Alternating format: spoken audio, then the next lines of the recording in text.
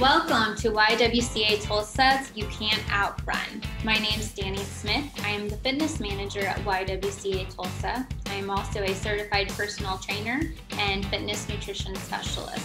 Today we're going to talk about fitness and nutrition. And joining me in this conversation is Jane Mudgett. Jane, thank you so much for joining me. Hi, I'm really happy to be here, Dani.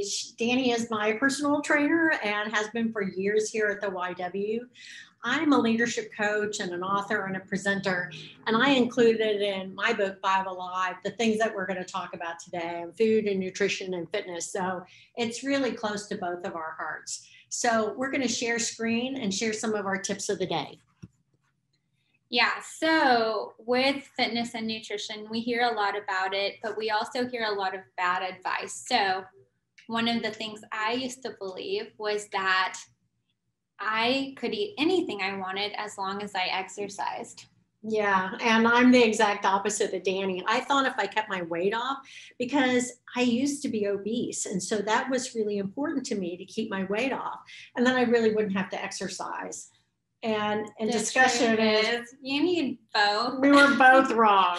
you need the fitness, you need the exercise for yeah. the full healthy body. Yeah. So today, I just want you to start where you are now. This shouldn't be um, stress inducing conversation. It shouldn't make you feel guilty. We're just going to assume that all of us are perfect where we're at with a little room for improvement. So let's get going.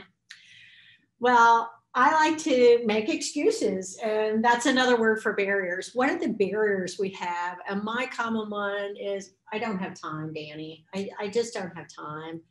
Um, my weight is a challenge. Um, you've heard a lot of other barriers. What do you hear from I clients? hear I'm a smoker. I don't have a gym membership. I'll start on Monday. That's that's a big one. Mm-hmm, mm-hmm. so the reality is that these are all perceived barriers. There are some real barriers, and that would be if you require doctor's approval or medical clearance.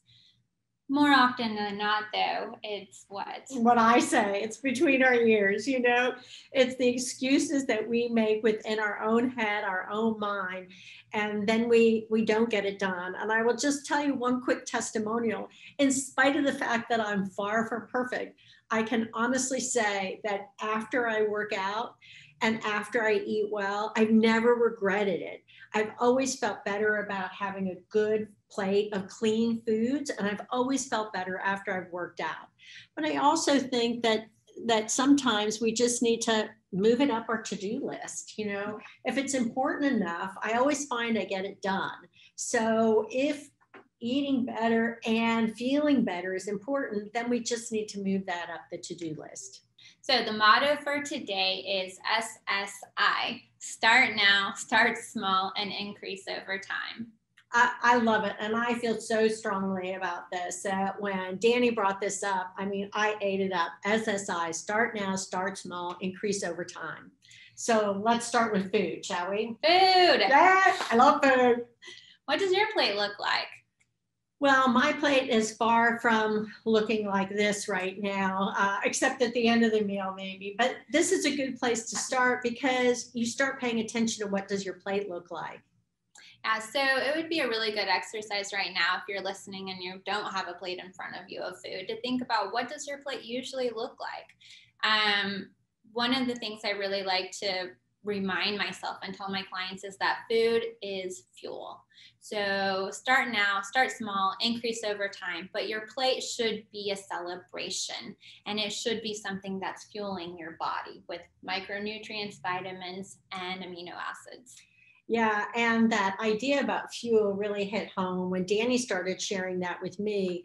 And so, although I've made swaps and improvements over time, which we'll talk a little bit about later, the other thing that I realized is I'm trying to get more nutrition per bite. So, that's another thing that keeps helping me down the line and celebrating when I look at my food.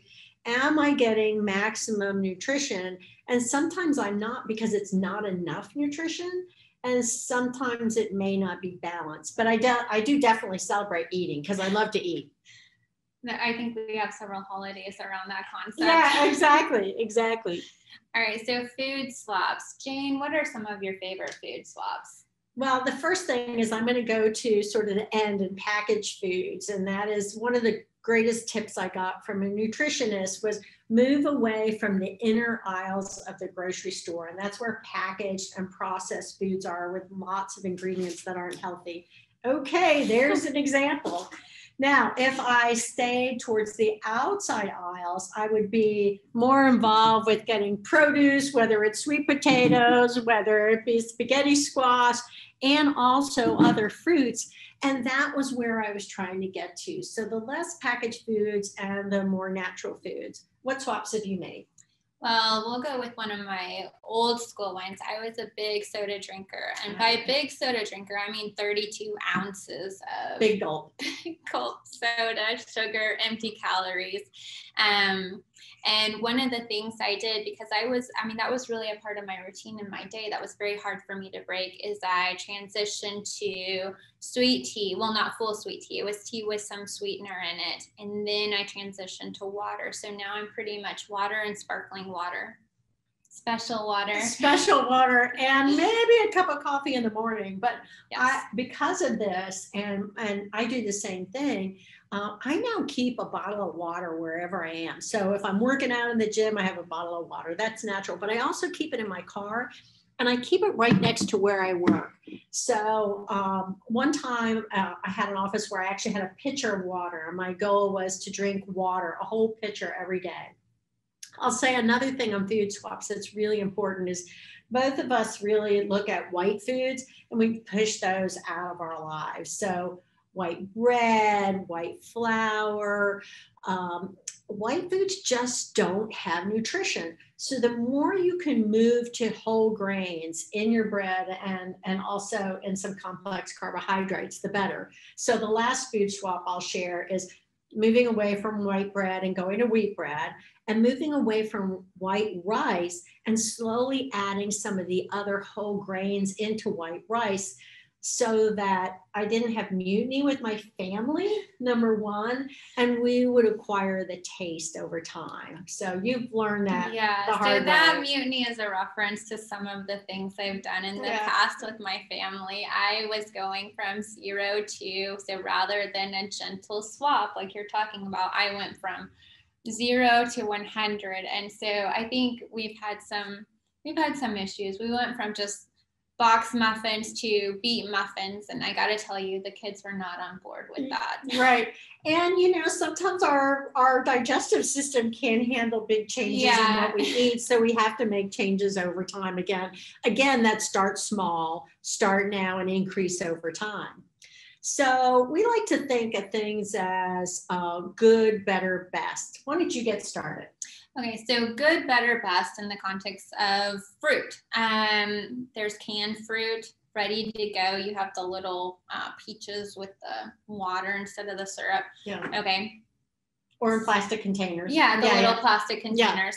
Yeah. Um, so moving from that to frozen, where it has a little bit more of its nutritional value still in it, and then fresh, which has the fiber and the nutrition. Mm-hmm and that's where you talked about micronutrients as well yes. that you just get more nutrients with fresh foods and it, you you may not have to you may not be able to make that change overnight but the same as vegetables moving from canned to frozen to fresh staying on those at that outside part of the grocery store is where you're going to find some of the healthiest food possible now an exception to that is where you get whole grains so whole grains are inside the aisles of the store. And I already alluded to moving away from white grains if possible. And that includes like grits and white rice and moving to things like quinoa, brown rice, millet. What do you eat as well in that area? Um, I like wild rice. Wild rice. I like yeah. it when it has, and and you can mix some of these together too, so that you have a variety of textures instead of you know just the same. Yeah, that's a good idea, and always cook it in whatever requires the longest, and then it's nice to have that that medley in there as well. Um, probably the biggest change that both of us have made in our families in the last few years is moving away from meat. That doesn't mean there's no meat, it's just less meat. So, what do we need to do to go from good, better, best in the meat area? So, on this, we have that you're getting what do we have? Like fast food, fried food, and then grilled lean proteins. Lean proteins would be um, chicken without the skin on it, um, turkey. So we've covered a lot of areas, and one area that both you and I have done over the last few years is reduce the amount of meat that we actually eat. So, what are the biggest changes that you've made? Is it fried food, fast food? What's good, better, best for you now? So, previously my protein would come in a fast food wrapper. okay. and you know, sometimes it was grilled. Um, a lot of times it was fried. And so then the transition would be going from that fried food to grilled meat, lean protein. Mm-hmm. Um, and then you get to where you realize you can throw in protein through some of your grains. And so having some of that lean protein with the balance of the fiber from, you know, the high grain proteins. Yeah. Well, and the high grain protein that we like the most is probably that quinoa, like because it has the it has the most protein on the whole grain. So shifting away from the fried foods, moving to grilled, and and ensuring that you have some non-meat meals as well. Even though one of our best tricks is no meat Monday. No meat Mondays. And that's been a trend for a while, but there are a couple of other days. So, what's your favorite day of the week? We really like Taco Tuesday. So, this is a thing I've taken from the Lego movie and thrown into my life. It's amazing where you get inspiration, right? Right, right exactly. so, whatever works. Whatever works. So, Taco Tuesday, you know, you can dress this up. If you are vegetarian, you can do um, black beans or you can throw in some lentils there, uh, fish tacos ground turkey, ground pork. There's all kinds of ways to do a taco. Mm-hmm. And we like to set up a taco bar when we have tacos or when we have people over so people can make their own tacos, even with kids. They like doing their own thing. They do. They, they like putting their own ingredients in. So that's a fun way to do Taco Tuesday. Where when I grew up, I was in an area where there was a lot of fish on Fridays. And while we do a lot of fishing on Friday in our home, we probably do it on other days too because we fish a couple times a week, but Fish Fridays is another way. And, well, and it just sounds cool. It does say, so, you know, so now we got no meat Mondays, we got Taco, Taco Tuesdays, we got Fish Friday. Friday You're and already three days into healthier you. I know, but we have a fourth one. So we do Brinner a lot. Um, we're very busy, go, go, go. And Brinner is breakfast for dinner. I did take this from a show too, this title. Um, apparently I watch a lot of TV, but what we'll do is we'll just scramble some eggs or make some omelets and I'll clean my fridge out this way in truth. So whatever's in the vegetable thing that needs to be cooked up, we'll just throw it in with the Brinner. Mm-hmm. Or if you have leftover vegetables too that have already been cooked, I seem to collect these things. And the next thing you know, we have Brinner with a scramble or we have a stir fry as well. I like um, that. You know, you can take a picture of the screen and get an idea of some of our, some of our other ideas. But the one that a nutritionist told me that really hit home for me is I was not eating fruit. And so the first challenge was I needed to eat one piece of fruit a day. And Dani knows that it's her least favorite option, but it was an apple, an orange, or a banana because that's what I was brought up eating. And then the nutritionist challenged me to say, all right, pick one new, completely new fruit or vegetable a week. Now, remember, I was trying to improve the food on my plate. And I actually did that. And I tried everything twice. So I, I tried eating it or preparing it. And if I didn't like it, I do it again. And if I didn't like it after the second time, it wasn't included. Edit. Now, you've challenged your kids to do this, haven't you? Yeah, so we went and I was trying Jane's nutritionist thing, Jane's thing, and I was like, okay, this will be fun. We'll take the kids. So, Pepino melon is what we walked out with. Um, we haven't sliced it up yet. This is a very new try. We've tried a bunch of interesting stuff, but I'll keep you all posted. And if you've tried it, reach out to us and let me know how you eat that. Yeah, and I have no idea what pepino melon is. So it's really cute.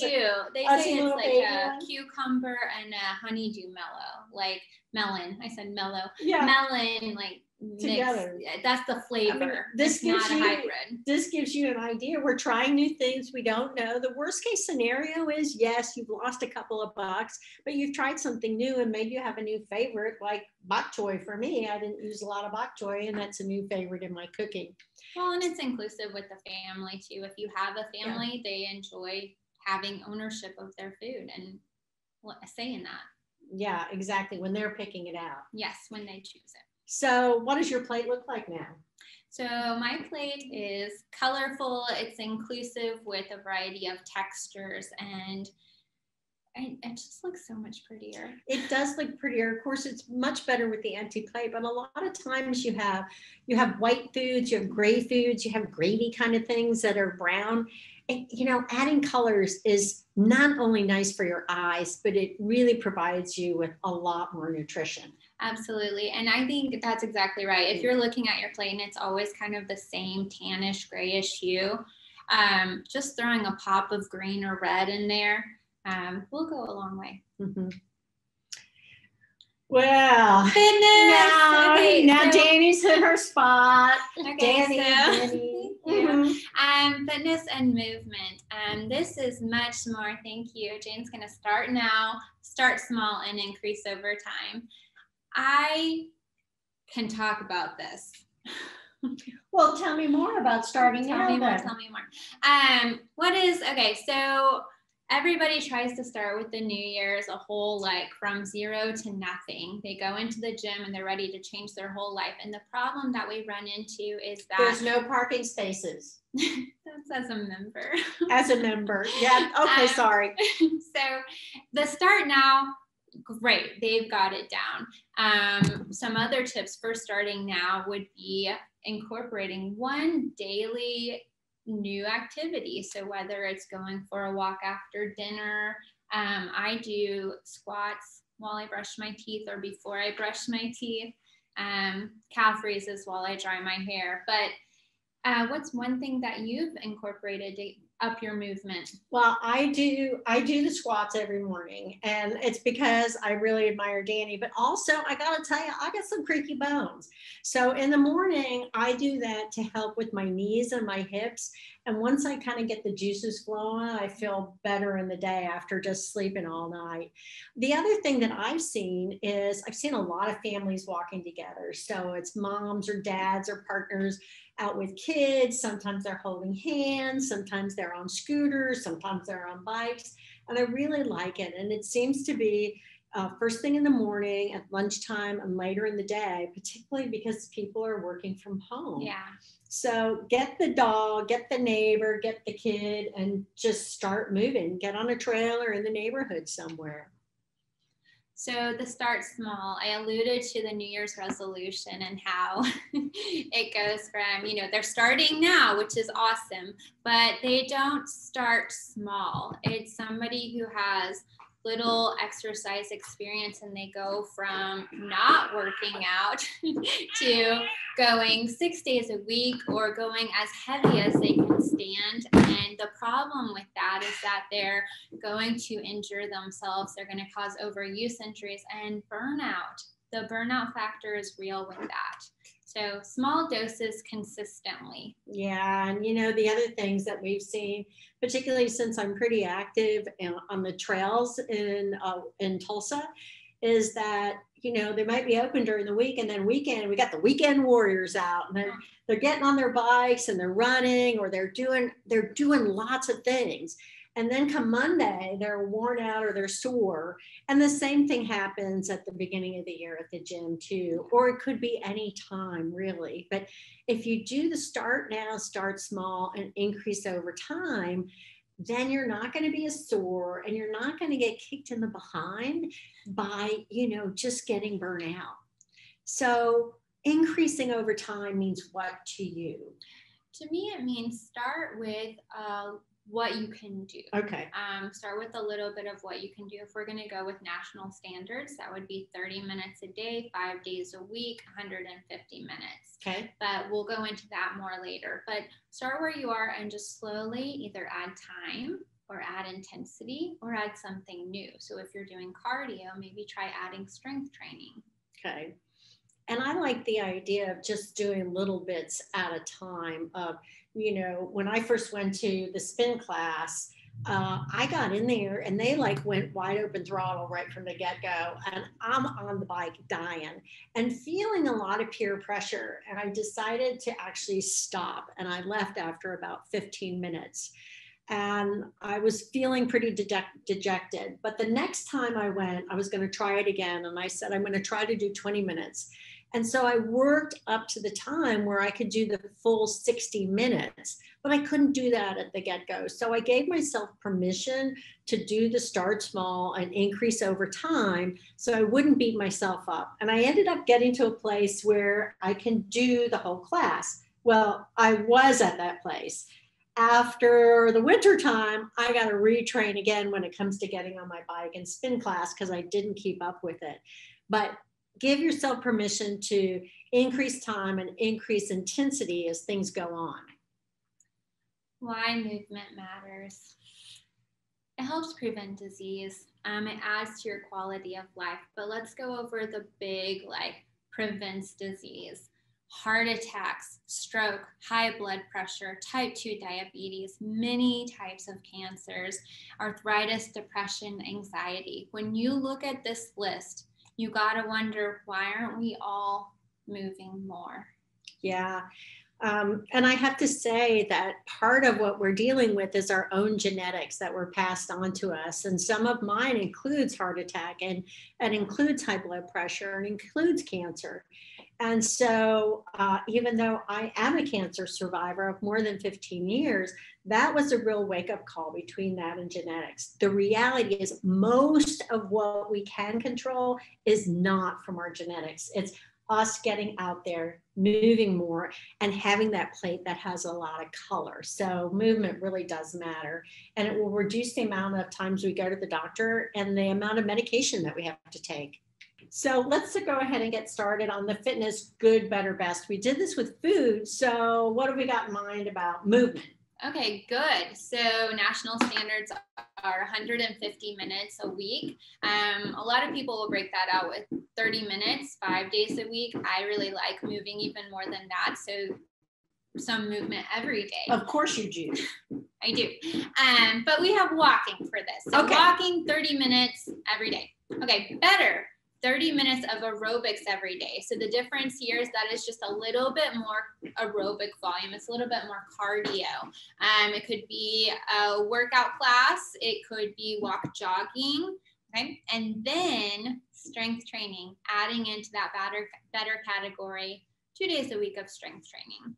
So best, um, more than 30 minutes of aerobic activity every day, strength training up to three times a week, and stretching three times a week.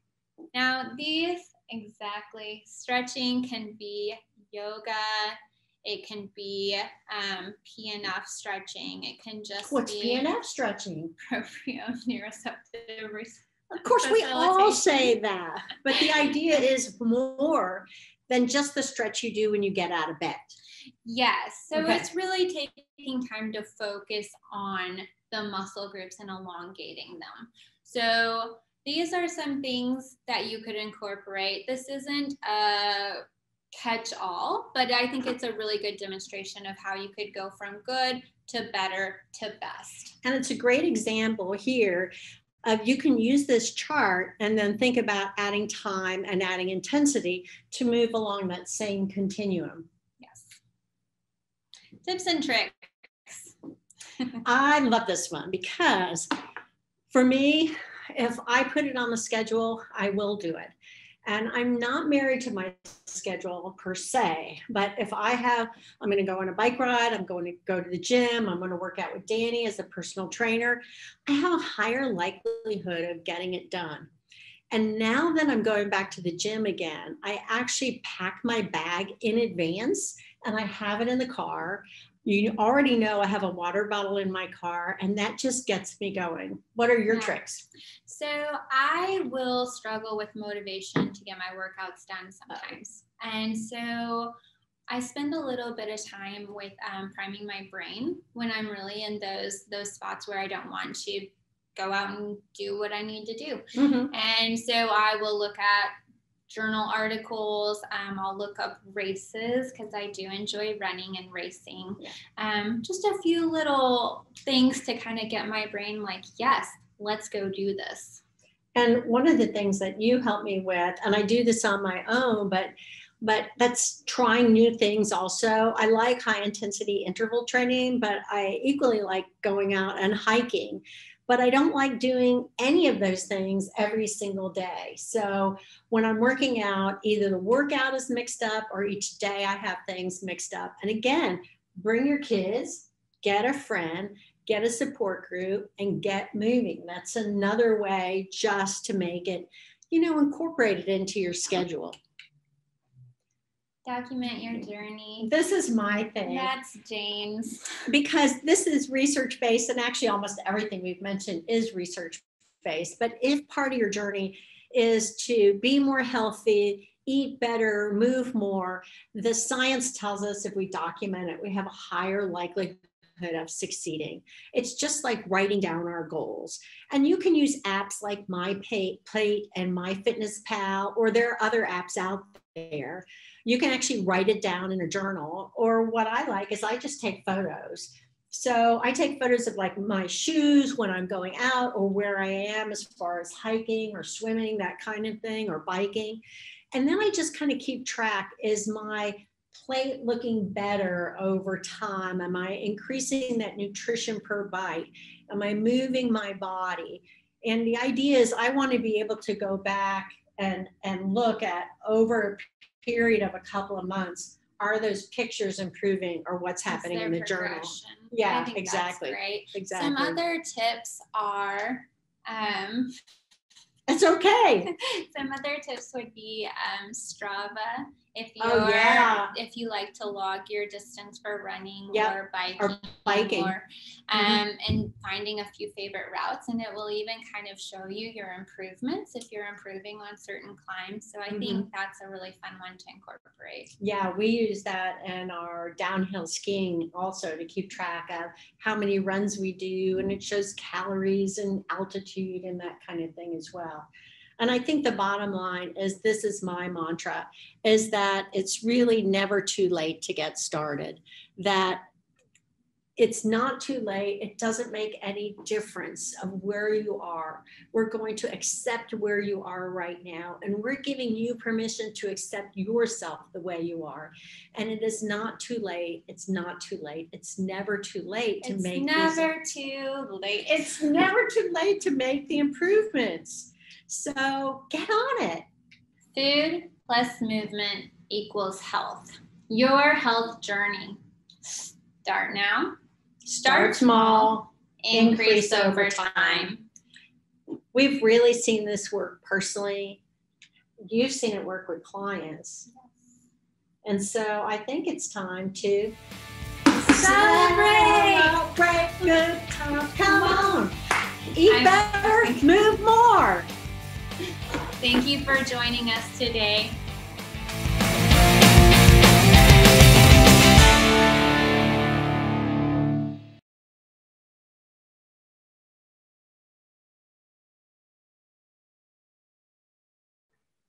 Well, we have to move back so we don't have the lights. Good. Hey, how are you doing? Hi. Okay, welcome to YWCA. We're going to pump Um, you up. up. Wait, oh, no, we it's like- to do like- pump. No, we have to start like this. Yeah, and then Okay. pump. okay. Wait. What? Pump you up. I'm going That's to it. pump, clap you up. Yes. Okay, so we're Hans and Franz, and we're going to pump you, You up. We gotta get our timing right. Oh, All right. we One, never have our timing right. We'll try this Okay, time. we start again. Welcome To YWCA, Tulsa. We're gonna pump you, you up. up. I'm off. How do you know you're off? I'm off. Oh, you're off. Yeah, no, I'm on. Okay, Okay. okay, this is the last one. We're gonna get serious. Okay. Okay, Serious, Okay, serious, let's just get, oh man, my neck really cracked. I like that. Okay. I'm ready. I'm gonna pretend that I have I'm a very let you do small the waist. talking and I'll do the the with I think it goes better. Okay, welcome to YWCA. We're going to talk about food and fitness, and we are going to pump you, You up. That was great. Hey, we did it. Okay, now, now I have to do our ending thing too. So Okay. remember, we're not allowed to use um, uh, music that's licensed, so we're going to just do this ourselves. So at the beginning, uh, well, in the food section and the end section, we think it's important to do this little thing. So we're, when it comes to food, you need to celebrate food. You need to have colors on your plate. Celebrate good times. Come on. We're gonna celebrate now. Oh yeah, I forgot the tune. So I think that's great. I mean, I really think that that's worth being in the video. Uh, but you know, do we want to do that again? Or are we good? We got we got pump you up while Hans and Franz pump you up. Absolutely. We've got Celebrate. Let's do one more thing. times. Come on. Okay, okay. you And we're not you allowed to use the song, right? Well, not the recording. Okay, you start. I'll come in. We You, celebrate. you do like the ending part, so food and fitness, and we're gonna celebrate. So you start, and then I'll come in and I'll celebrate with you. So, like you said, I'm not falling fully. In case you're wondering, I know. Bless my little heart. So Okay, you're gonna so- say the ending of why we're celebrating food and fitness, and thank you for being with us today. Okay, so that. this is You're like gonna the, do the very closing. closing. You're gonna do that closing message, Okay. and then you're gonna start singing I'm and dancing, start, and I'm gonna like- come in. Serious and then take it. Okay, all right, do that. Okay, so this is for the ending. Take four hundred and twenty-seven. Okay, so I hope that you've learned some tips and tricks from us today. Um, food, nutrition, your plate, it really matters. And most importantly, you've got to celebrate. Celebrate good times. Come on. Celebrate food and nutrition. Celebrate food and nutrition. Did I think it. that's perfect. We're gonna be movie stars. Oh, yeah. Uh, oh, At least in our own mind, Dani. At least in our own mind. I'm going to be a vlogger. Yeah. Bye. Bye. Yay, we did it. Are we good? We're good.